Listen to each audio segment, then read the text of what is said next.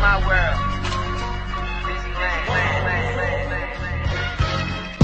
Shit, I got my mind on a million. I feel like if I die, I'ma die as the realest. People say I'm tripping, but we sacrifice Pac.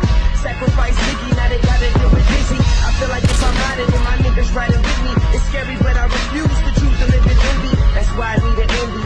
Or a major blessing, cause selling my soul is out of on my chest, and I'm just trying to get it off. We all have flaws, but we don't admit them all. If we did, maybe the world would be better after all. Damn, this lifestyle started to bother me.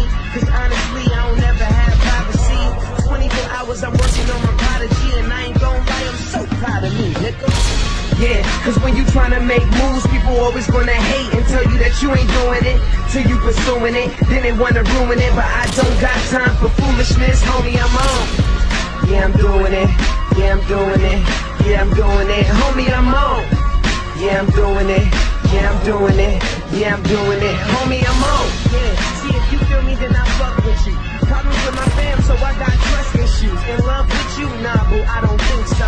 I have a dream like I'm rapping a Dr. King flow. This could have been my single, but it's too harsh for